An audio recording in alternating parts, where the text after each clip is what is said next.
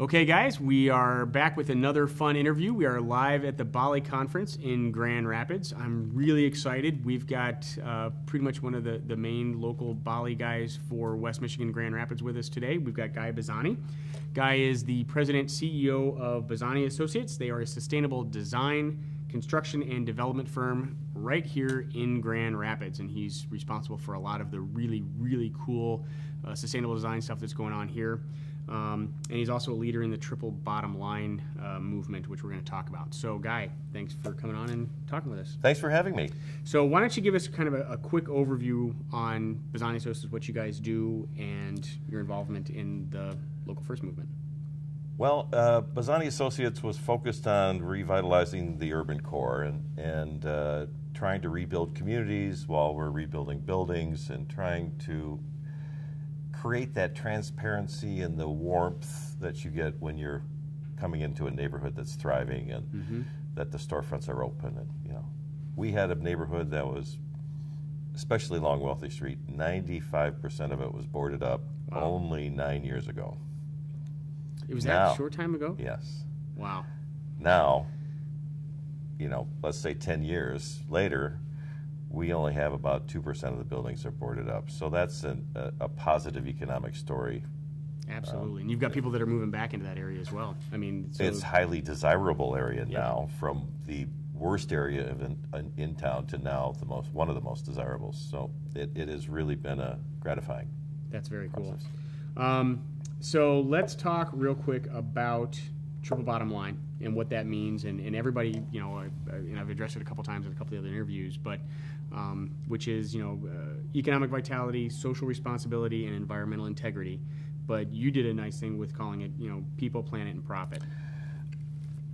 I did. The original uh, phraseology uh, was really to really formulate this as a business concept. Mm-hmm. And in the early stages of green building and design and the triple bottom line movement, actually flowed out of good social venturism, mm-hmm. where the business is the vehicle for social change. Right. So that wording came out of that. Then now that the uh, general public is using sustainability on a regular basis, we, we first got together, we did a, a, a survey of a thousand people, uh, phone survey, and asked them to talk about sustainability or define it, they had no clue what it meant, and that was only 10 years ago. We put it on our front window anyway mm-hmm.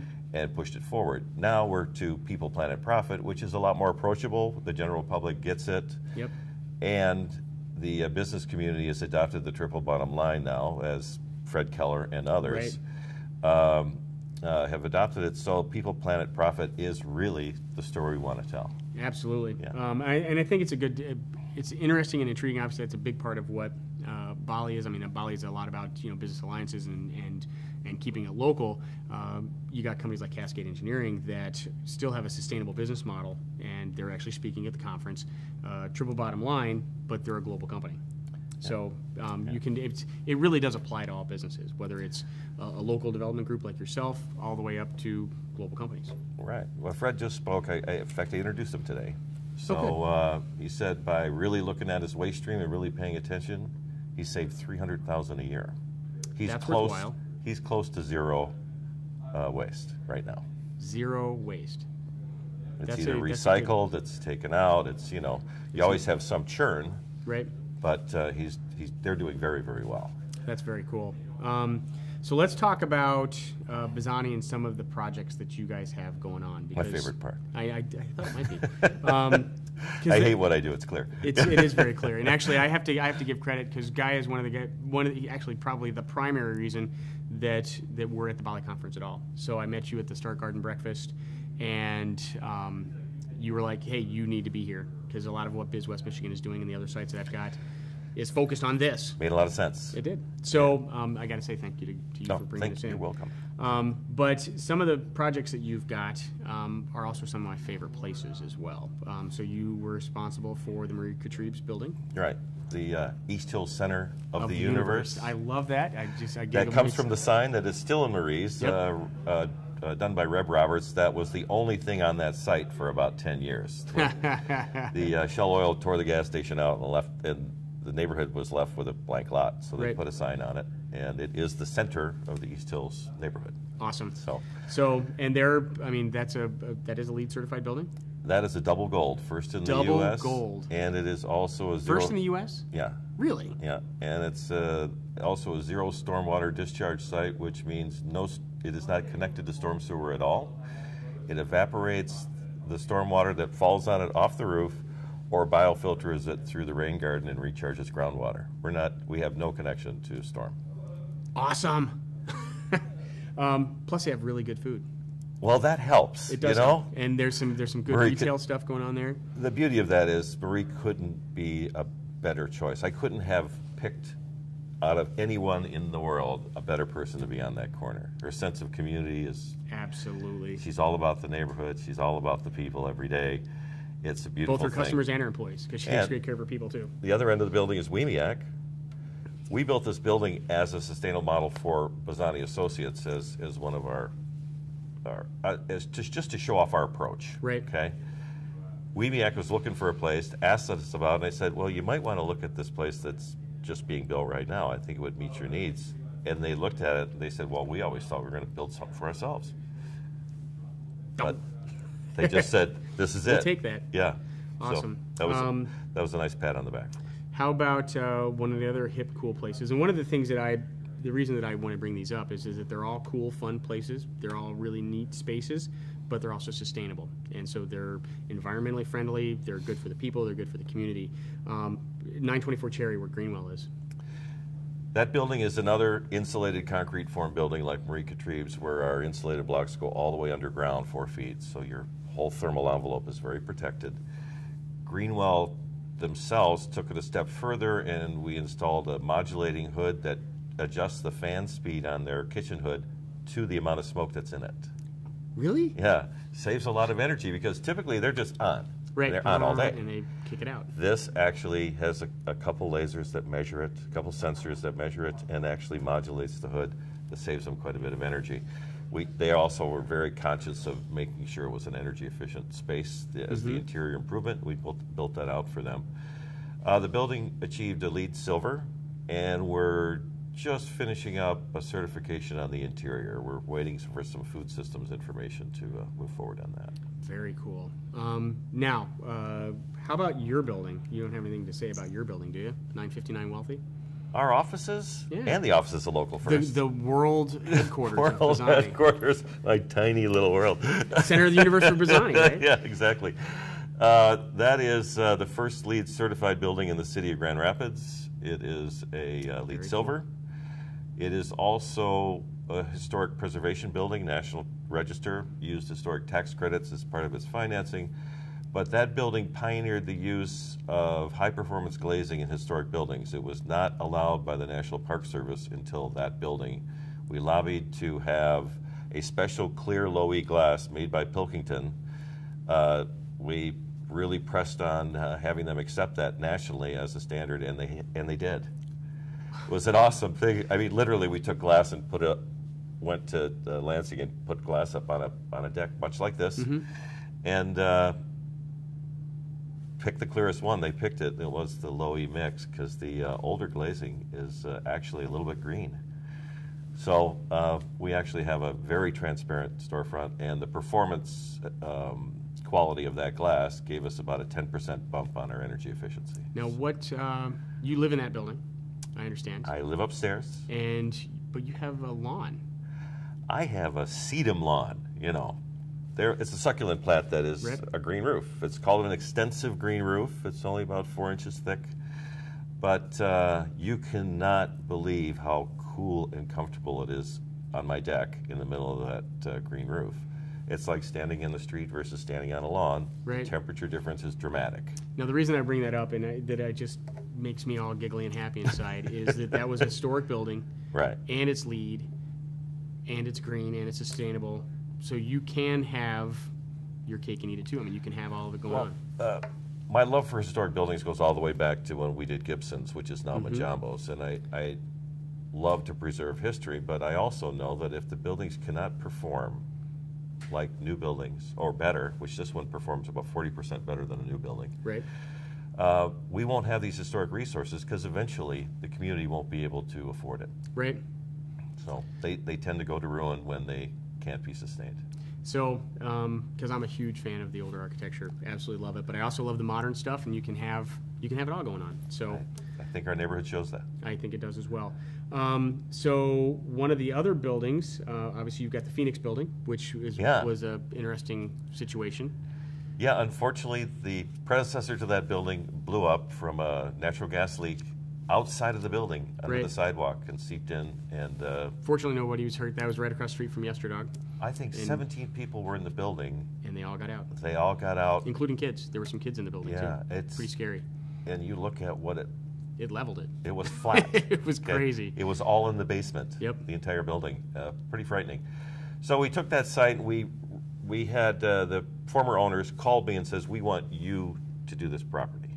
Cool. So Nice we uh, we built it out for them and then we bought it from them.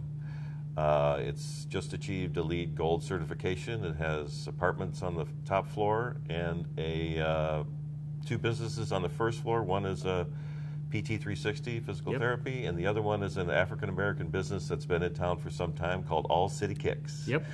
Great Uh, spot. Shoe store, right? Yeah, shoe Yep. store. Very cool stuff. Um, and I watched that building going up, and uh, it was fun to watch it. And uh, Tight site. Very small, yeah, very very tight footprint. Um, the last one, uh, your kind of your fun and exciting new building is the Kingsley Building. Kingsley Building, a five-story building on the corner of Robinson Road and Lake Drive, which was boarded up for so long no one saw the building. It was hiding in plain sight. It was sight. invisible. Yeah. Drove by it all the time, and you'd see the record, you know, the Kent Record Storage or Kent whatever it was. What, what I call from the paranoid architectural period. exactly. boarded up with a gravel storefront that if you touched it with your knuckles, you'd cut your hand. Yep. And uh, we peeled it open, restored the ceramic underneath, put the storefronts back into uh, historic standards, and we're hoping to get a National Register nomination on the building to uh, maintain its integrity. Now there's something really cool going on there, which is the Trillium Haven restaurant. Yes. Kind of a new concept for West Michigan, I understand. Well, farm to table isn't new, but these are farmers that have grown all the organic produce for everybody in town that partnered with a restaurateur to create a farm. To table, truly farm to table. Yeah, we And own the local farm, and we own the table. right. Um, so very nicely done. and you're going to have a hundred seats inside, and then you've got a really cool little patio. That's 30 gonna be seats outside. Outside. That's going to be very fun. I can't wait till it opens. uh, it, it'll be a very fun location. Uh, we've got neighboring that, we've got a Copsa Books yep. that has a storefront and 17,000 square feet of books on the second floor uh, that supplies their used book. Yep. System. And they're that's kind of kind of turning into a used book hub in that whole area Right, down there. right. Um, all right, so uh, we're going all over the charts on this on this interview, but one of the things that um, that you and I chatted about about a probably about a year ago at Triumph Music Academy, which is in your building, Right. um, was the concept of the construction and development costs of what you're doing from a sustainable Mm-hmm. concept versus traditional. Um, why don't you tell me a little bit about? Well, we, we saw a need uh, in the initial stages when I put the company together. I saw a need to really have architects on staff because I wanted to uh, work with people to understand design in a holistic fashion. And there were a lot of folks at that time that were resisting the kind of things I wanted to create. Today, architects abound that really embrace LEED certification and, and uh, sustainable building, so it's all great. Um, what the myth out there is that green building costs more. Yep. All right. So we had a little bit of a tech glitch there. We uh, we actually filled up a card. so uh, I'm going to cut in here and we'll start over again. So construction development costs of a sustainable nature um, versus traditional. Why don't you kind of touch on that and First off, you have to have a holistic design strategy to be efficient in this green building world. You have to think as the project as a whole, mm-hmm. and that is very much helps uh, a sustainable project move forward. What we find is, and the stats are roughly, if you have a building designed traditionally and you try to make it green, it's going to cost you 20% more. wow. Okay. if you design a building with a green soul at heart, Mm-hmm. okay, it will cost you about two to five percent more, and you'll recover that money in two to five years. Okay. So that's pretty much. If you get it it is. a geothermal, that's going to push the building return on investment out maybe seven years, but you can have a gold level building with a return in five we can build a silver level building at the same cost as standard construction.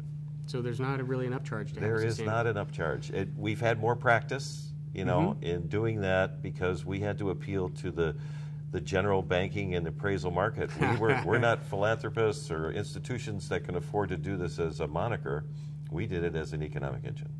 So really, then it's there. If they want to go forward with a new building, there's really not that much of an upcharge to do go from a sustainable format. It's, it would be crazy to do anything else. You're going to save 40% on your energy costs, so you pay it back in two years, and it's the gift that keeps on giving. giving Yeah. exactly. Um, or if I wanted to, if I had an existing building, I could even go backwards as well. I mean, I could if I'm Right. going to refurb a building, then Well- it makes sense to redevelop it and and like you did with the other buildings, like Kingsley and all the other stuff. Yeah, it's just like the uh, our headquarters. We foam the interior walls, Right. and then and then put our infrastructure and electricity in those, you know, and phone and systems and drywall that. And, And it's looks a very- beautiful building. I You've mean, been in it. It's very I- polished looking. It's not. Yeah. Uh, we, we left nothing out. Well, but it still has the old charm. I mean, that's that's the thing that I always get freaked out about is when you walk into some of these houses and you're like, "What did you do? You know, you took all the charm out of the house. Why did you do that?" Or the building, the, the Right, office building.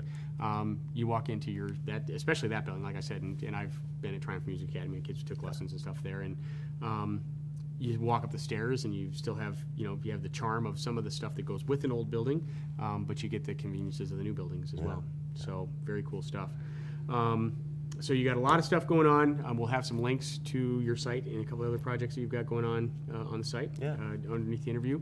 Um, we're going to hit you up to do some more stuff from a Biz West Michigan standpoint here fairly soon. So we'll do All the right. traditional Skype one, which All right. is not this ain't Skype, obviously. Yeah. Um, but Guy, I really appreciate taking time to chat with us and, and dealing with our technical glitches. Like Thanks we again for having me. You're welcome. All right. So, Been great. guys, again, we're at the BALLE conference uh, with Guy Bazzani, and hope everybody enjoyed the interview. And we'll talk to you soon. Thanks.